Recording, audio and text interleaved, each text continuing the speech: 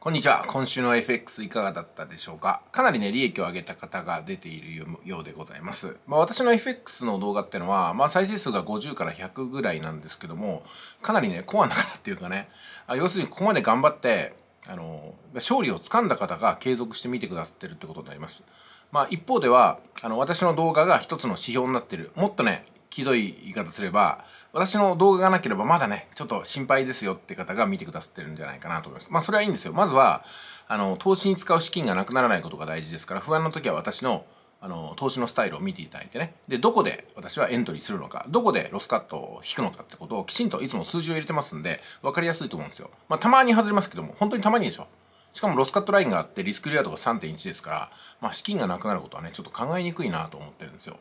で、あの、よく言われるようにね、あの、曖昧な、なんとなく漠然としてっていうことではなくて、きちんと数字を入れて、ここでエントリーするって言ってますから、まあ、あとはね、あの、私の言った言葉をそのままね、信じれるかどうかってところもあります。もちろん私もね、絶対に保証しますってことは言いませんので、投資は自己責任で最終的にお願いするしかないんですけども、不安な方はね、ロットを0.01とか、減らしていただいて10円トレードでやってみてはいかがでしょうか。それでは今回はね、いただいたメールを読みながらお話していこうかと思います。プライバシーに配慮しながらメールは一部はしょりながらお話していきますね。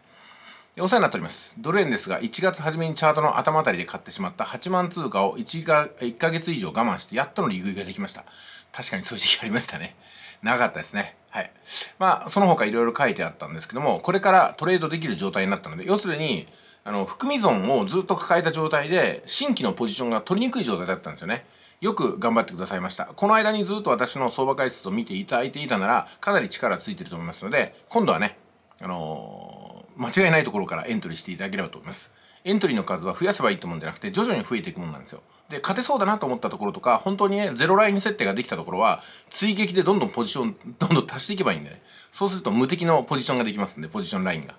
まあ、ポジションラインって言い方もあってね、新しい言葉、私なりの言葉を言ってしまったんですけども、もう要するにね、ゼロラインを設定したら、あとね、追撃追撃で、要するに、確保できた利益の半分を使ってエントリーするんですよ。で、次は新しい、えー、ポジションを取りたかったら、またその半分、つまり最初の含み益の4分の1を投入することにすれば、どこまで行ってもね、マイナスにならないトレードが追撃ができていくってことなんですよね。それまたね、実践でお話しますね。はい。えー、鉄の気持ちでやるつもりですと。はい。鉄の気持ちでやっていきましょう。結局ね、精神力はもの言いますからね。やっとドル円がダッシュをかけたと思ったら、黒田さんが何か発言したようです。お、あ、そうなんですか。そうそう。あの、116円を大きく超えて、117円、118円に向かうかなと思ったら、ぐっと下がりましたよね、今ね、今日。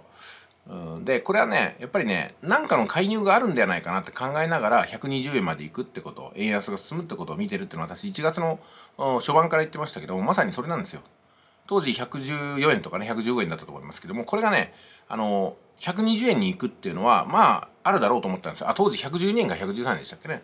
うん、で120円まで行くなというふうに長期目線では見ていたんですけども120円までね打つ手なしで行くんじゃなくてどこかで介入は入るんじゃないかなっていうふうに今までの経験から思ってるんですよね、